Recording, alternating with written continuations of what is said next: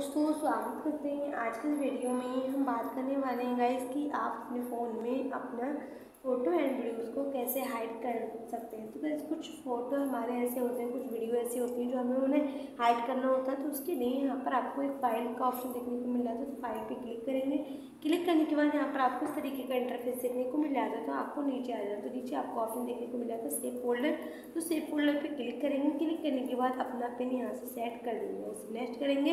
Next करने के बाद यहाँ पर आपको बे करना है। बे करने के बाद यहाँ पर आपको कई सारे ऑप्शन देखने को मिल जाते हैं। तो हमारा एक ऑप्शन आता है इमेज तो आपको इमेज के फोल्डर पर क्लिक करना होगा क्लिक करने के बाद यहाँ पर आपको कई सारे फ़ोटो एंड वीडियोज़ मिल जाते हैं, जो भी आपको अपने फ़ोन में अपने हाइड करने होते हैं। तो गई यहाँ पर आपको अपने फ़ोटो में अपने फ़ोन में अपने ये वाले फ़ोटो हाइड करने हैं। यहाँ पर आपको वीडियो मिल जाती है, अगर वीडियो हाइड करनी तो वीडियो पर भी आप इस तरीके से क्लिक करेंगे और यहाँ पर आपको थ्री डॉट का ऑप्शन देखने को मिल जाता है। थ्री डॉट के ऑप्शन पर क्लिक करने के बाद यहाँ पर आपको कई सारे ऑप्शन देखने को मिल जाते हैं तो हमारा एक ऑप्शन आता है। मैप टू सेव फोल्डर तो आप इस पर क्लिक करेंगे क्लिक करने के बाद अपना पिन डालेंगे यहाँ पर इसे नेक्स्ट कर देंगे। तो वही देखिए जो हमारे फ़ोटो एंड वीडियोस है, वो हाइड हो चुके हैं। तो गाइस इस तरीके से आप भी अपने फ़ोन में अपने फ़ोटो एंड वीडियोस को हाइड कर सकते हैं। तो गाइस वीडियो पसंद आई हो तो शेयर करें लाइक करें। चैनल पर नए हो तो चैनल को सब्सक्राइब करें। मिलते हैं नेक्स्ट वीडियो में। तब तक के लिए bye bye and take care